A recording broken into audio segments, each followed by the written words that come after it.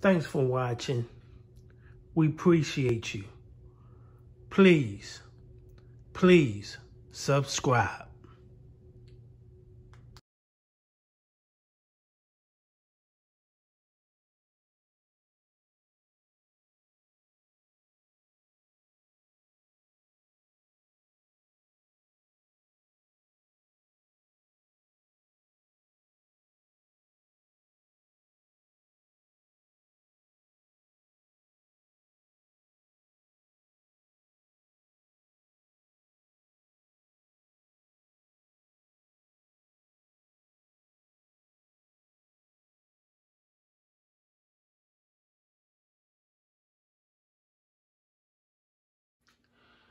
This is a tribute to honor and show respect for Miss Allen, age 50, murdered August 23rd, 2022 in Bogalusa, Louisiana.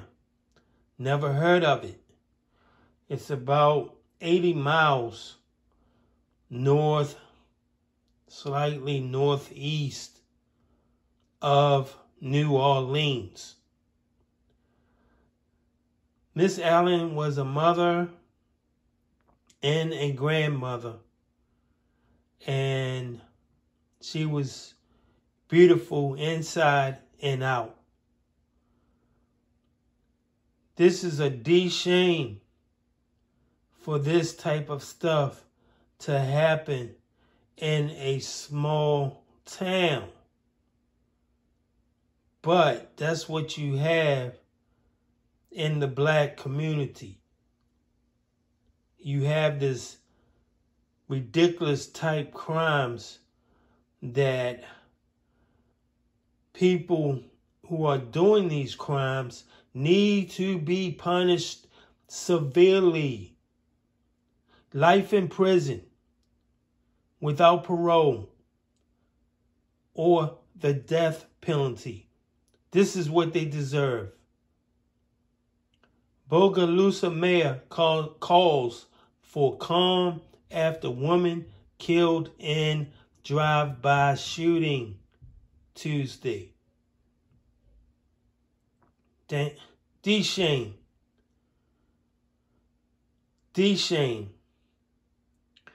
God bless Miss Allen. God bless her soul. And definitely, God bless her family and friends. Photos, news feed follows. Damn.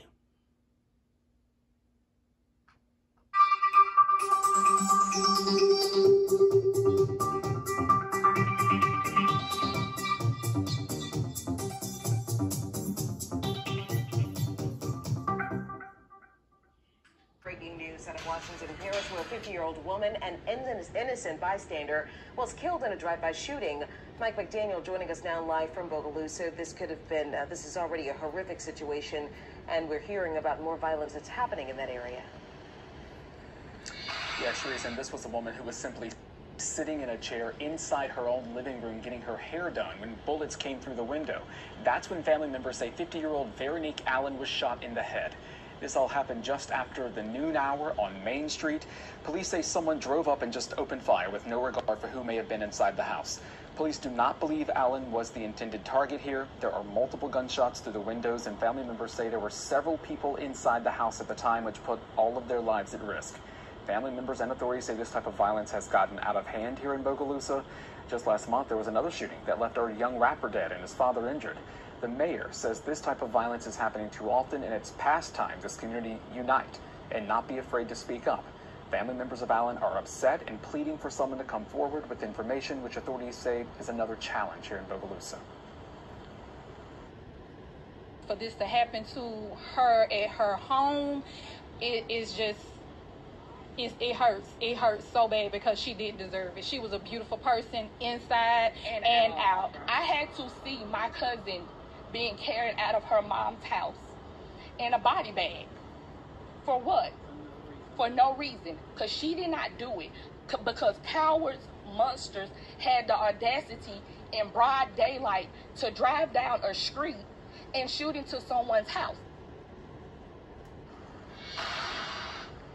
Allen has four children of her own and several grandchildren. I did check in with police just before we came on the air. So far, no arrests have been made, but police do expect one. Reporting live from Bogalusa, Mike McDaniel, Eyewitness News.